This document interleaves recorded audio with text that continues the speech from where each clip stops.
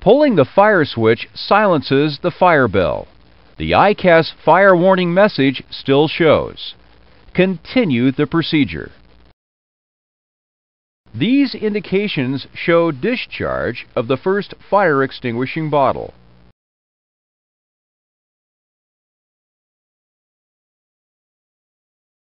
Which panel do you use to continue the procedure? Do the a defective fuel system could cause the left boost pumps to feed the fire.